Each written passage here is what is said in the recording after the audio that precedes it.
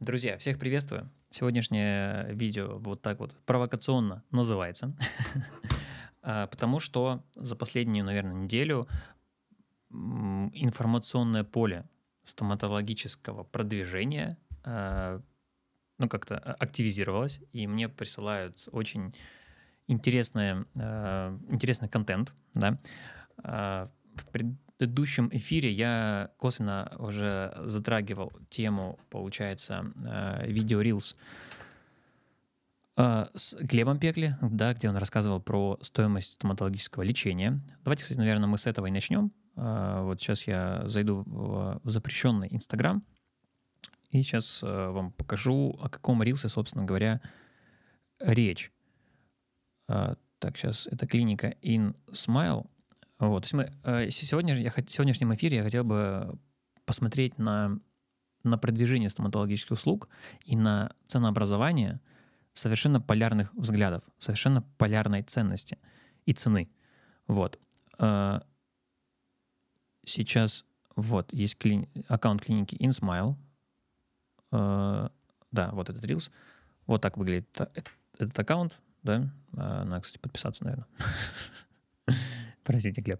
Вот, в общем, такой рилс. Сейчас мы сделаем звук. Вот здесь.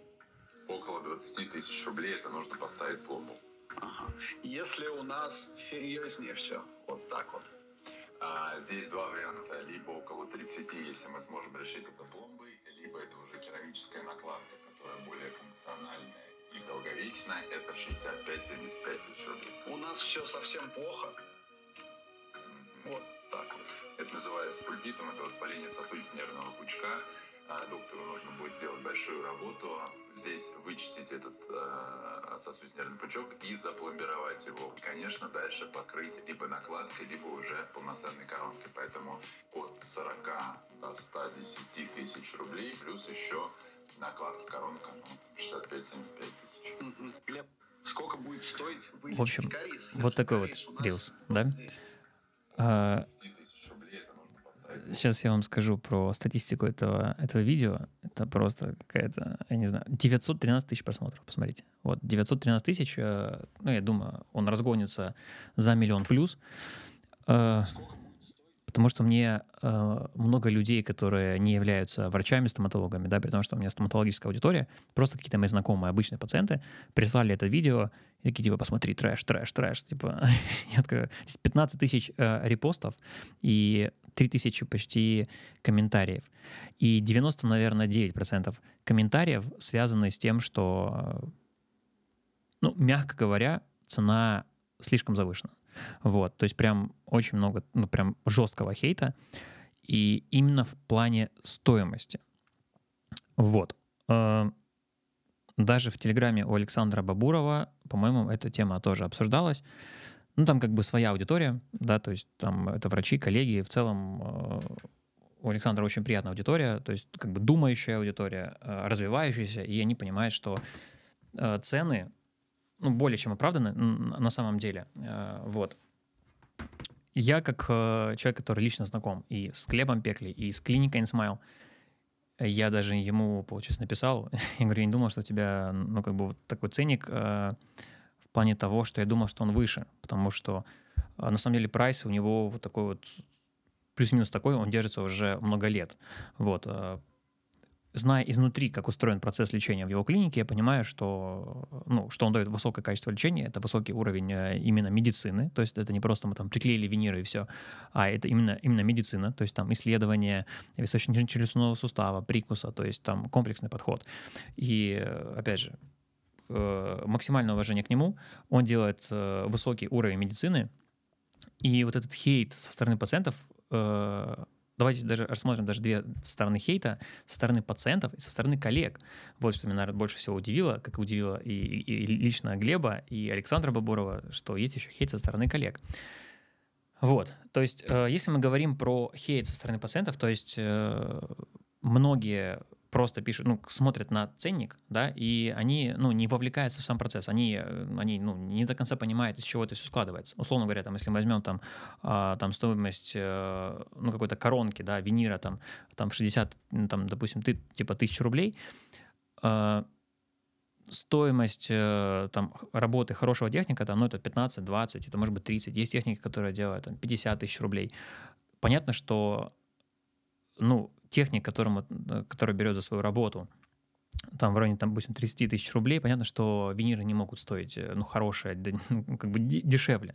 Есть фактор расходных материалов, да, вне зависимости от квалификации техника, да, то есть мы даже вынесем это за скобки, то есть есть э, расходная часть именно по материалам, есть процент налога, есть проценты, которые мы вкладываем в, в зарплату ассистента, даже если не берем мы стоимость э, работы врача пока что, да, то есть просто вот стоимость продукта, да, то есть продукта именно вот там какая-то короночка, да, например, э, вот такого э, высокого качества, то есть это хороший техник, это, это хорошая клиника, и сейчас по словам хороший я даже, ну, я не беру даже в целом большой фокус именно на, на сервисе, да, то есть там классный ремонт, классный дизайн, там чай, кофе, все дела, это даже мы отодвинем даже это в сторону. Но сам факт, что просто должно быть какое-то хотя бы помещение, должен быть какой-то хотя бы ассистент, какой-то администратор. То есть это все люди, которые работают за зарплаты. Это, то есть э, стоимость винира, коронки, чего угодно складывается из большого количества сложных э, как бы факторов. То есть это довольно сложный процесс. Плюс работа техника, это расходные материалы. Э, то есть процесс огромный. То есть, ну, э, себестоимость э, хорошего, э, допустим, там хорошей коронки, именно, именно вот только себестоимость, без, даже без э, плюса от врача, я не сомневаюсь, что можно вместить там меньше 25 тысяч рублей. Вот. Если я не прав, поправьте меня в комментариях. Но если мы берем как бы хорошего техника и берем там, рассчитываем все эти проценты э, по расходке, по людям, которые вовлечены в процесс, без э, ну, процента доктора, там, ну, виниры дешевле 25, ну, это, наверное, самый, э, ну, минимальный прайс. Понятно, что есть техника, которая сделает вам там и за 8 тысяч рублей, и за 5 тысяч рублей, я думаю, что есть. Э, ну, опять же, мы сейчас говорим про рынок Москвы. Понятно, что в зависимости от региона ценник может меняться, но сейчас, допустим, вот мы смотрим по Москве, потому что э, клиника Глеба в Москве. Вот. Поэтому, э, опять же, я сейчас, э, ну, ну, как бы знаю, да, многих людей в индустрии, но я не сильно, возможно, сейчас э, именно в рынке в плане стоимости, ну, как бы труда, да, то есть потому что э, у меня сейчас процент моей лично клинического моего приема, я его сильно сократил, но даже вот то время, когда я прям, ну, когда я максимально 100% моего времени я был в практике, как бы таких цен, ну, то есть я не работал по таким ценам. А, именно не потому, что я хотел там как-то супер заработать, а то, что, ну, если себестоимость хорошей работы там типа 25 тысяч рублей, ну, как ты можешь виниры ставить? Ну, как бы за 20. Это, то есть это их себестоимость, вот опять же. Вот. А, я все это к чему? К чему, к чему, к чему? Я это все говорю. А, ну, то есть понятно, что виниры, коронки, там, карис можно сделать за абсолютно любые деньги. Здесь, э, ну, как бы, и большое количество врачей, которые готовы это будут сделать. Вот. Э, мой эфир, наверное, нацелен больше на то, чтобы э, как-то ну, объяснить и, и рассказать, что хорошая, качественная стоматологическая помощь, она не может стоить дешево. С другой стороны, нет никаких э, гарантий, что, э, что то, что дорого стоматологии, это качественно. Но то, что э, ну, как бы качественно, оно не может стоить дешево. То есть э, есть, э, допустим, процент врачей, которые нам платят технику, там, не знаю, грубо говоря, по 5 тысяч рублей, а продают там за 50 тысяч рублей, это один момент, да, но я не считаю, что как бы его нужно обсуждать. Это чисто ответственность врача, это это их решение, э, как бы у меня есть какое-то мнение на этот счет, но я думаю, ну как бы кто я такой, чтобы решать, э, ну это высказывать его, да, о других врачах. То есть каждый принимает решение сам. Но условно говоря, допустим, там винир стоит там, не знаю, там 80 тысяч рублей в клинике в Москве, и, допустим, один врач платит технику там, ну, там 10 тысяч рублей, а другой платит 30 тысяч рублей, понимаете? Вот. Но к тому, что виниры, которые стоят там 20-30, если мы говорим про керамические виниры, да, ну, вряд ли там какое-то будет высокое качество. Опять же, если мы говорим про Москву. Вот. Э, это вот такой... э, Я, у меня даже... Вот у меня было интервью эм, для журнала Start Smile. э, ссылочку, может, я где-то прикреплю, найдете, где я рассказывал про стоимость стоматологических услуг. То есть очень часто вот многие врачи из-за... Ну, Блин, ну, ну, ну вот реально есть много врачей, которые э, просто, ну, как бы зарабатывают деньги. Как бы это факт. И, конечно же, с этим как-то хочется бороться и выстраивать коммуникацию с пациентами, чтобы они понимали, что, ну, не все врачи такие. Э, Я лично, ну, в моем, по крайней мере, окружении э, люди фанаты медицины и думают в первую очередь о медицине. Вот сейчас мы говорим про честную, прозрачную стоматологию, где есть какие-то вещи, э, которые стоят столько, сколько они стоят. Процент, э, ну, ус- условно говоря, есть себестоимость всей работы, да, и процент э, врач уже выставляет, ну, как бы свой. То есть, условно говоря, там, если 50 тысяч рублей стоит себестоимость, там, ну, врач может там э, поставить ценник там в 60 тысяч рублей, в 70, в, там, в 100, может, тысяч рублей поставить, в 150. То есть это уже его процент. Вот. Но есть какой-то ценник, который, ну, грубо говоря, вот меньше которого вы не сможете сделать ну, качественную продукцию, да, качественную именно э, с точки зрения себестоимости. Вот. Э, это вот один момент, да. Вт- Второй момент, э, то есть работа складывается из, из двух э, процентных соотношений. То есть работа именно себестоимость, куда я включаю там и техника, и даже ассистента, и помещение, где вы работаете, то есть все вот это, и процент э, работы врача. И процент врача это уже то, что, ну, на что можно влиять, опять же, врач из-за своего опыта. Он, здесь как бы нет на самом деле ну, какого-то предела по ценнику, потому что э, самый ценный ресурс у врача это время. Он не может вылечить всех. Если э, на врача есть спрос, на его руки, да, на его знания, на его квалификацию, понятно, что он вынужден ставить ценник выше, выше, выше, выше. Здесь я всегда за то, чтобы... То есть я за то, чтобы э, стоимость была э, соизмерима с профессионализмом доктора и с его персональным брендом. Вот, поэтому я против, опять же, да, как человек, который продвигает историю развития личного бренда, э, я против того, чтобы вы брали ценник вот из потолка. То есть э, вот вы смотрите просто на рынок, да, и такие, да, сейчас, блин, сделаем вот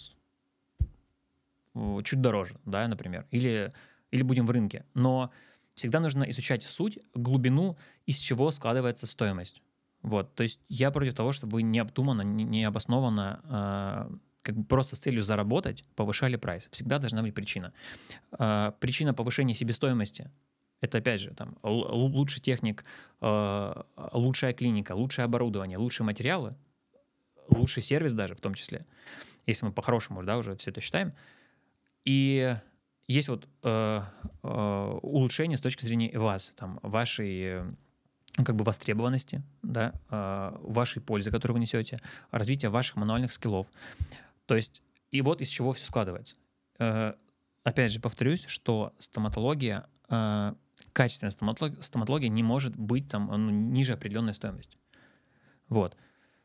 Вот что угодно можете говорить и писать, но качественная стоматология не может быть дешевой. Опять же, не факт, что дорогая стоматология будет качественной, потому что сложный процесс э, лечения, да. И это мы сейчас только говорим вот про сторону, про ту зону ответственности, за которую отвечает врач. Мы сейчас даже не говорим про пациента, потому что э, ну, какое-то сложное комплексное лечение — это всегда взаимодействие, это команда с, э, с- как со стороны клиники, врача и всего персонала и пациента. Потому что это, ну, должен быть определенный, ну, как бы союз, да, и, э, и определенный, ну, как бы коннект, э, чтобы лечение прошло успешно. То есть нам нужна определенная ответственность от пациента в том числе, определенная дисциплинированность со стороны пациента. То есть э, это мы сейчас даже ну, не берем в расчет, берем в расчет вот только э, сторону доктора и клиники.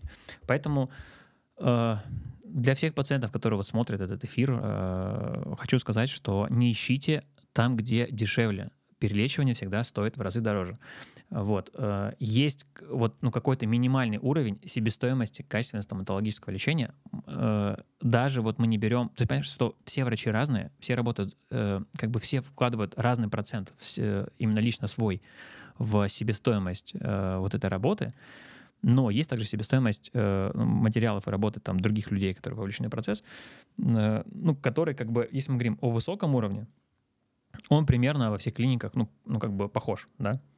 Если мы говорим про хорошую работу техника, опять же, хороший сервис, хорошие материалы, хорошее оборудование, Потому что вот это все, э, как бы, получается, детали, они сильно влияют на разницу, э, на разницу лечения. Вот, поэтому, э, когда вы видите, какая, ну, например, какую-то стоимость, и она, ну, выходит ну, за рамки вашего ну, как восприятия, вы думаете, ого, это как дорого, прежде чем писать, что это супер дорого, и типа вы вас что там совсем что ли уже типа, не знаю, попутали, да, потеряли связь с реальностью. Э, сначала углубитесь в суть и узнайте, э, из чего складывается стоимость. Мне вот в этом нравится, вот когда был какой-то хайп и кипиш, да, по поводу того, что там себестоимость пломбы в 550 рублей, каждый вообще высказался по этому поводу, вот. Я как-то, ну, я, мне даже не было желания что-то это комментировать, потому что, ну, как-то, блин, ну, не знаю, в, моем, в моей картине мира все так как бы понятно, то есть как бы комментировать нечего, а ну, хайповать на каких-то заголовках и громких словах я не очень люблю, если честно. Вот. А, но мне понравилось вот тогда, как отреагировал на эту историю, получается, а, Артем Газаров. У нас с ним есть, кстати, интервью, подкаст. Там, а, кстати, супер подкаст. Очень много обратной связи получил я от зрителей, да, от врачей. И лично Артем мне писал, говорит, что мне, ему много людей, кто написали, что там очень ценный подкаст получился. Я уверен, что почти все из вас его даже смотрели. Вот. И чем мне нравится Артем, что он очень системно подходит э, э, к своей работе. Он строит э, огромную империю, да, не побоюсь этого слова, клиник по всей стране. И очень структурный системный подход. И вот тогда он на волне вот этого, ну, как бы хайпа этой новости, он решил разложить стоимость э, именно лечения, получается, короче, грубо говоря, стоимость постановки пломбы.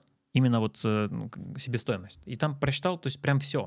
То есть он подключил э, людей из команды, которые все просчитали, там, э, допустим, вот стоит там, например, вот этот самый тюбик, да, э, Э, ну, этого самого, короче, композитного материала, да, вот, и они просчитали там, сколько грамм уходит на одну пломбу, да, и там все, все эти браши, кисточки, салфеточки, там, нагрудники, оптрогейт, то есть все-все-все-все-все прям посчитали там, э, вплоть там, не знаю, до бахил, например, да, вот, и там себестоимость, уже не помню, какая получилась, ну, там, типа, тысячи, может, три, что ли, такая, по-моему, была сумма.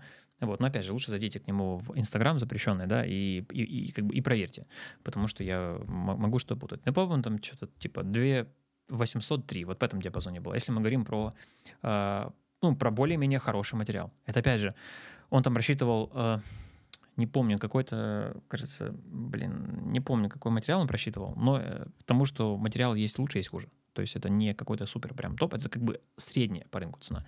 Но это чисто вот э, стоимость расходников. Но, опять же, да, мы ну, как бы не забываем, что стоимость расходников это, ну, не, это не равно стоимость конечного продукта. Вот.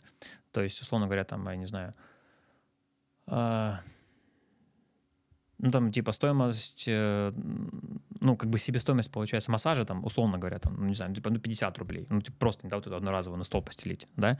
Но мы за массаж платим там сколько, 2, 3, 5, 10 тысяч рублей, да, в зависимости от того, кто делает, как делает, э, в, каком, э, в какой атмосфере, в каком помещении, э, там какая техника, какие-то масла. Ну, то есть мы не... Вот сейчас я даже, я найду этот пост, мне понравилось очень, как э, отреагировал на это все. Сейчас я вам скажу. Сейчас на паузу поставлю и найду пост. Это, по-моему, был пост от, от Романа Новиченко. Мы с ним, кстати, лично еще не знакомы. Но мне понравилось, как он тогда э, отреагировал тоже на эту ситуацию. На эту ситуацию. Сейчас я вам, давайте поставлю на паузу, я найду этот пост и покажу вам.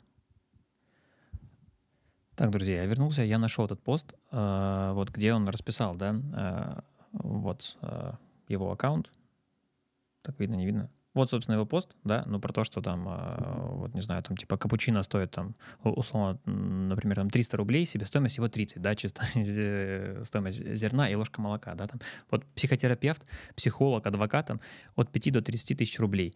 Себестоимость, типа, 0 рублей, да, если мы говорим, вот, если мы просто ну, сделаем аналогию из того, как считаются деньги в понимании многих людей, да, э, стоимость услуг, да, вот, там э, массаж, вот, да, там от 3 до 5 тысяч рублей, но на самом деле в Москве сумма может уходить там в разы, в разы больше, но там себестоимость вот получается там, он типа в 300 рублей, он написал просто крем, да, а, там виски, коньяк, вино, э, против употребления алкоголя, нужно сказать, да, э, там вообще суммы могут быть совершенно разные, себестоимость там типа 100 рублей, типа спирт и бочка. Все очень грубо говоря, да, но э, вот этот пост я рекомендую вам почитать. Э, это вот доктор Роман Новиченко.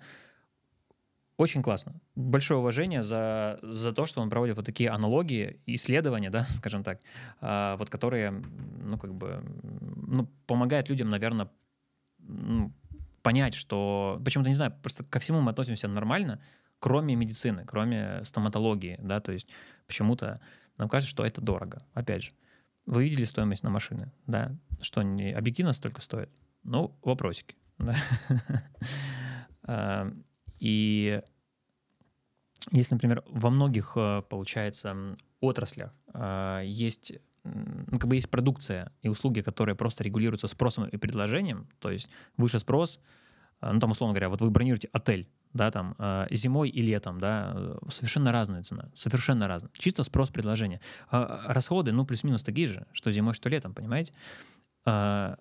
Почему-то вот когда мы говорим про стоматологию, как-то мы забываем очень много факторов учитывать, из чего складывается э, стоимость. Это опять же, стоматология это не та отрасль, где там летом прайс выше, зимой ниже, то есть это ну, совершенно не так. То есть есть, есть какая-то как бы средняя цена, и она вот держится. И все э, увеличения стоимости, которые связаны э, в стоматологии, если мы говорим про адекватное увеличение стоимости, да, то есть когда не, не просто вам там придумалось, да, они связаны либо с повышением стоимости э, оплаты, э, оплаты квалифицированного труда, то есть вы там работаете, например, с более квалифицированным техником, например, либо с там, с, э, с, со сложностями в доставке материалов, с повышением их себестоимости. А, и плюс есть процент э, увеличения именно стоимости часа работы врача, опять же, из-за э, из масштабности его личного бренда, из-за его востребованности среди пациентов, потому что, опять же, врач не может вылечить всех. И то, что он ставит прайс эм, ну, который это как определенный фильтр, да, опять же, для пациентов, а, потому что ты не можешь всех вылечить. Вот. Это ваше право, ваше дело приходить к врачу или не приходить, но писать э, ну, необоснованный хейт, который, э, ну, как бы в какой-то степени, я бы сказал, что, э, ну, как бы ну, дискредитирует профессии, профессию и звание, и ценность профессии врача, то есть именно ценность того труда, который он делает, сейчас именно даже говорим, ну, не про личность доктора, а про, ну, как бы про, э, про саму процедуру и манипуляцию. То есть, опять же, есть какая-то базовая цена за, за винир, за коронку, за реставрацию. Это, если мы говорим о высоком уровне, это ну, определенный уровень цен, именно себестоимости. Сейчас хочу это очень важно, наверное, подчеркнуть, что э, я сейчас не говорю даже про процент, э, про процент врача. Но то, что выросла себестоимость стоматологического лечения, это факт. Вот, потому что она складывается из большого количества факторов. То есть, ну, в понимании многих людей, там, пломба, ну что там, взял там, это самое, да, тюбик с, с пломбами, да, взял, отсыпал, приклеил, все, типа, но это же не так. Огромное количество расходных материалов, чтобы пломбу поставить, э, используется. Вот у меня, кстати, был опыт, мы работали, э, мы, я, я работала в клинике, которая была, я, по-моему, рассказывал, э, она у них был фокус на, на, на косметологию, да, и они, они открыли стоматологический, получается, кабинет. И пригласили меня. Вот, я там работал, и там вот мы просчитывали, то есть, ну, а, редко, когда вот э, по опыту моих работ в стоматологиях мы прям вот досконально просчитывали там стоимость часа работы, стоимость расходных материалов. А здесь, ну, за счет того, что как бы люди входили в новое для себя направление бизнеса, они все просчитывали. И для меня это был очень интересный опыт, посчитать вообще, что сколько стоит. И в итоге, из-за того, что у нас был большой поток пациентов, мы сначала отказались от э, лечения корневых каналов, но мы поняли, что мы, мы физически не можем столько времени этому уделять, да, что есть вот другие клиники, мы направляли в другие клиники, и э, ну, очень высокая расходная часть получается. То есть нужно там э, много этих файлов, э, много оборудования, инструментов и много времени. Это все, э, ну, как бы требует. Э, И мы вот так убирали процедуры э, с учетом того, что есть большой наплыв пациентов, большой поток, но мы не можем всех принимать. И э, люди, которые осно- основывали этот, э, этот, как бы эту клинику, этот бизнес, они это все именно проецировали на, именно с точки зрения бизнеса и предпринимательской да, истории. То есть что сколько стоит. И мы как бы сразу убрали эндодонтию, э, кучу-кучу всего убрали, э, и дошло до того, что мы даже убрали, э, стоим- ну, убрали лечение кариеса. То есть мы сделали вообще фокус на гигиене, да, то есть и, ну, вот ты делаешь чистку, ты консультируешь параллельно пациента, пока делаешь чистку, говоришь, там здесь у вас кариес, нужно это подлечить и так далее, но ты понимаешь, то есть они спрашивают, а где полечить? Я а мы говорим, ну, мы, к сожалению, не успеваем всех лечить, поэтому вот вам направление там, в другую клинику и так далее. Вот такая была модель бизнеса. И мы, э, то есть ты когда делаешь профгигиену, у тебя там э, себестоимость одна. Только мы там говорим про лечение кариеса, хоть маленького, хоть большое, сразу количество ну, материалов расходных в разы вырастает. Там это и анестезия, и, и, и бондинговая адгезивная система, да, и, и протравка, и всякие щеточки, боры, полиры, э, всякие копирки там, да, ну то есть э, очень много-много-много-много всего. Вот, э, э, это и кофердам, это и клампы, то есть по сравнению с профгигиеной, да, и банальным, казалось бы, самым простым лечением кариеса огромное количество э, как бы расходов сразу растет. Так, сейчас небольшую паузу сделаю, сейчас вернусь, подождите. Так, друзья, я, я вернулся, э, садился ноутбук, поэтому пришлось э, сделать такую паузу. Уже забыл, да, о чем я рассказывал. А, Ну, по-моему, остановились на том, что, да, вот я работал в клинике, где мы начали рассчитывать стоимость процедур. Вот опять же, потому что пришли ребята с бизнесовым подходом таким, да, из другой сферы, и начали немножко по-другому смотреть на рынок, в, вот в стоматологии в том числе. Вот, это э, позволило мне задавать самому себе вот такие вот, э, ну, как бы вопросы, да, именно с точки зрения э, прибыльности всех процедур, из чего они состоят. И вот учитывать расходную часть в том числе, потому что я как доктор, ну, ты когда полностью погружен в процесс, да, ты, ты хочешь сделать для пациента, ну, все на высочайшем уровне. И очень часто ты идешь как бы, э, ну, не то чтобы на компромисс в плане стоимости, а ты иногда просто, ну, э, не хочешь высчитывать расходную часть, да, то есть есть, есть, ну, как бы, ну, примерная база, да, потому что посчитать, ну, прям до копейки прям сложно. Вот. А, Потому что каждый человек, опять же, уникален, и подход, э, не подход, а каждый человек уникален, э, клиническая ситуация уникальная. Вот, поэтому прям, э, ну, я как врач, я не смотрел никогда на стоматологию как на бизнес. Поэтому, возможно, у меня до сих пор нет своей клиники, и я не могу сказать, что я горю большим желанием ее открывать. Потому что мне, как врачу, сложно перес- перестроиться, считать э, в стоматологии ну, как бы деньги, да, потому что э, вот когда ты врач, всегда это в первую очередь внимание и забота о пациенте. Вот, и я часто, помню, шел на компромиссы в плане, э, в плане э, увеличения э, расходной части. Допустим, там приходит пациент, э, и ты понимаешь, что ему нужно сделать там вот из таких материалов, например, это все. Он говорит, ну, ну нет финансовой возможности, да, и ты иногда, э, ну, как бы из своих денег ты, получается, доплачивал за, за работу, например, там, техника более высокой, ну, как бы репутации, квалификации, э, покупал более дорогостоящие, получается, ну, расходные материалы. И даже пациент об этом мог и не знать, да. Э, э, Здесь именно про отношение к работе.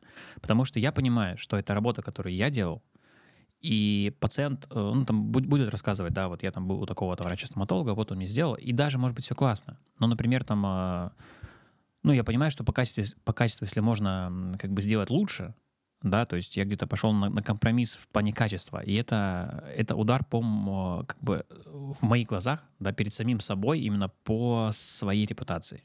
То есть, что я пошел, как бы, на посредственную работу. То есть я сделал посредственную работу, короче говоря. То есть мне проще было ну, как-то увеличить э, свои расходы да, на, на себестоимость, но зато я мог спать спокойно, что работа выполнена качественно.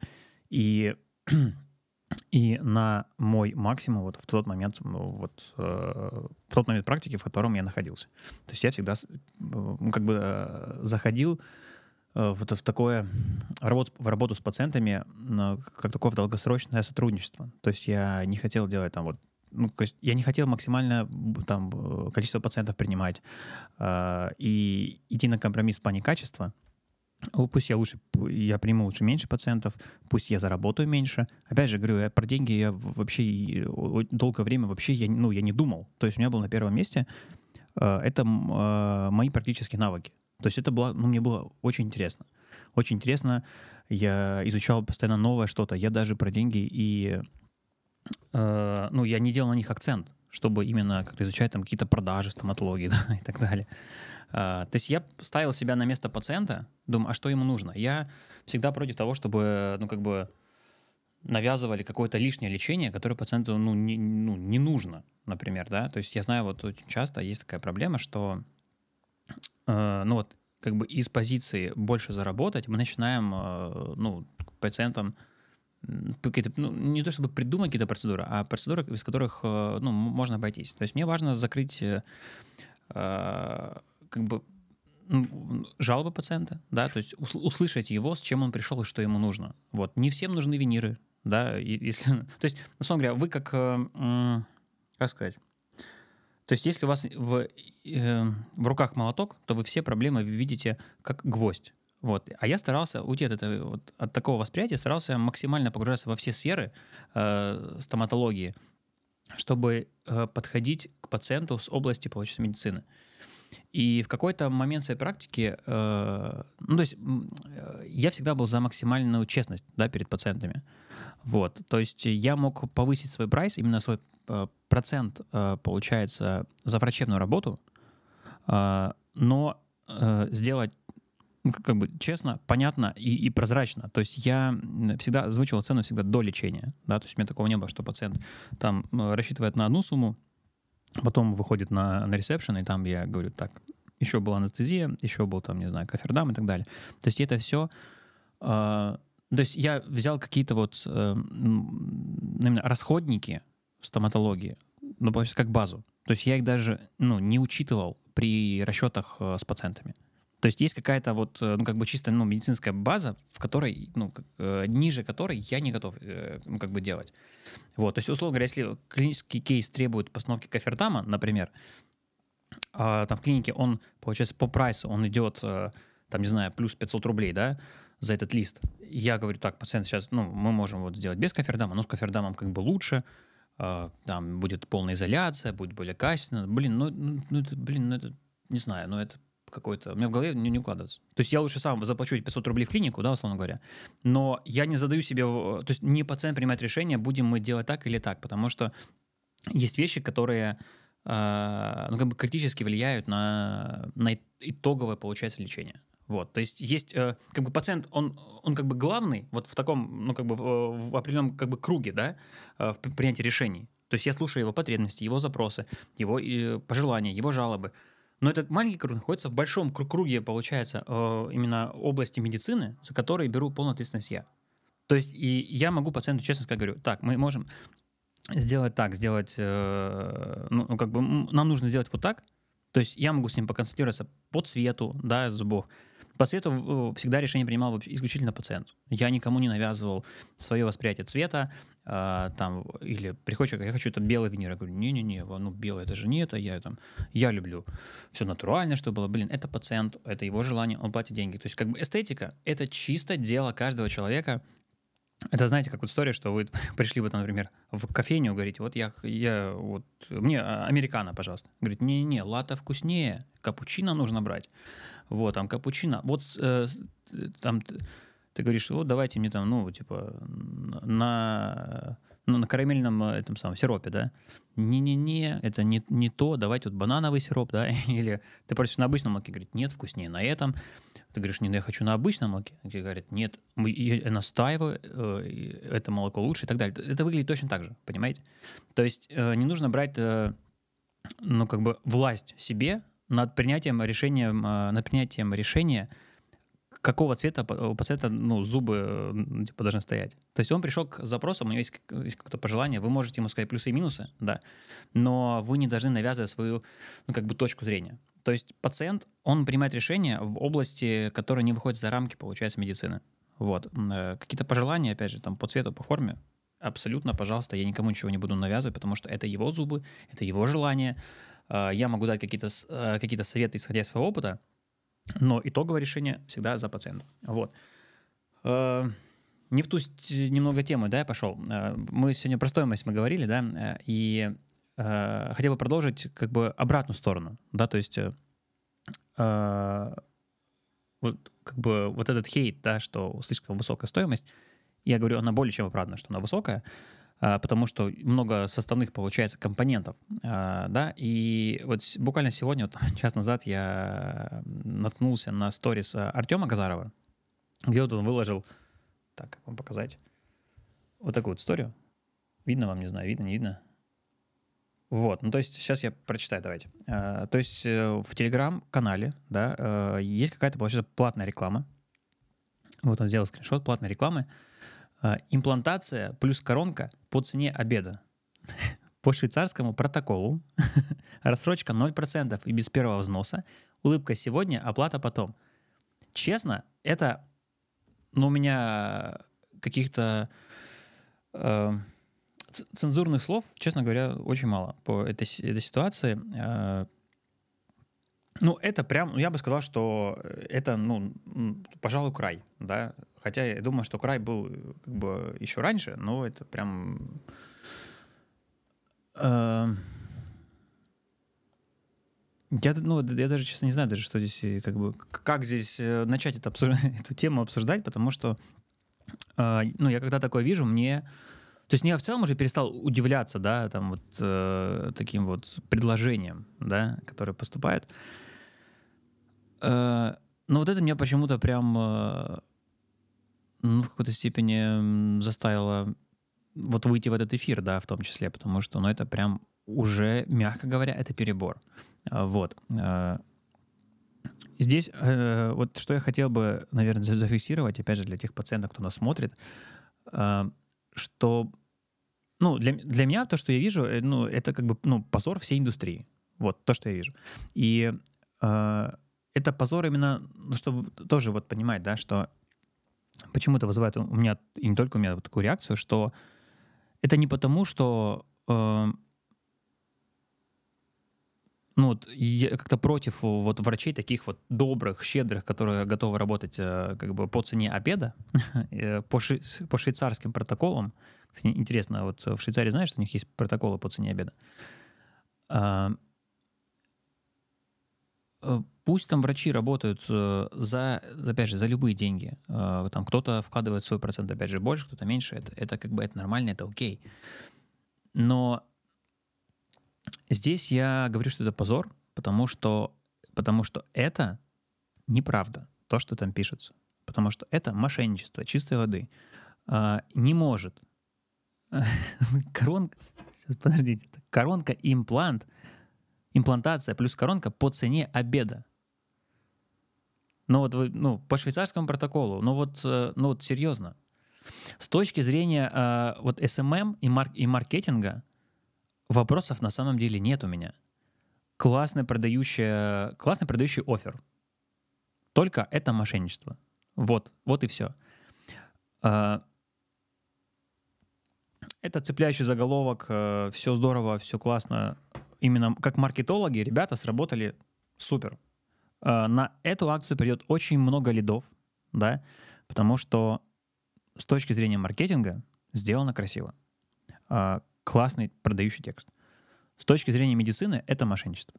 Это прям стыд, позор той клиники. Я не знаю, чья это клиника. Пожалуйста, если вы знаете, если вы смотрите, напишите, пожалуйста. Я с удовольствием приду. Я хочу, я даже сторис вышел, говорю, я хочу записать подкаст с вами, чья это клиника, с этими маркетологами, пожалуйста, давайте мы эту тему поднимем, потому что то, куда идет э, стоматология, это просто, опять же, ну, нецензурных слов у меня нет, чтобы сказать, чтобы как, как, понятно, что каждый врач знает э, там стоимость своего часа, кто-то готов работать э, дешевле, дороже, но это мошенничество, это неправда. Неправда. Это, это не может стоить столько. э, И опять же, блин, придут люди, понимаете, которые думают, блин, какая-то супер акция, супер выгодно. По цене обеда, офигеть, мы пойдем. Какое-то супер предложение. И, э, им придут. Вот я даже хочу даже записать, э, я хочу позвонить по этому офферу, я хочу даже, может, э, видео записать на эту тему, как разговаривает администратор. То есть, понятно, они, они берут мой контакт, но у нас взаимоотношения с клиентом начинаются с того, что мы его уже обманули, понимаете? Это что может быть? Мы позвоним, он скажет, э, позвоним, извините, скажет, «М, мы позвоним э, в эту клинику, они там скажут, ну, по цене там, типа, какого-то шикарного обеда в люксовом ресторане, да, там, типа, не знаю, там, 50 тысяч рублей, да. То есть, блин, это уже, уже, э, уже вранье. О какой потом репутации врача мы можем говорить? Какое может... Блин, медицина — это доверие. Это доверие. Когда вы пишете такую херню, извиняюсь, о каком доверии? Вы уже обманули пациента. А потом пациенты пишут в, в комментариях вот такой хейт. Потому что вот таких вот, вот мошенников в стоматологии очень много, понимаете? Пот- э, опять же, блин, вот... э, э, потому что приходят люди из, из сферы маркетинга, э, дают как бы классный инструмент, но, но у них нет понимания, что это медицина, понимаете? Поэтому я говорю, врачи, занимайтесь ведением своих блогов самостоятельно. Это ваша репутация, это ваше лицо. Это клиника. Если я знаю, что это за клиника, я в жизни, э, я в нее не пойду, во-первых. И я бы даже вышел в сторис и рассказал бы, что, ребята, это мошенничество.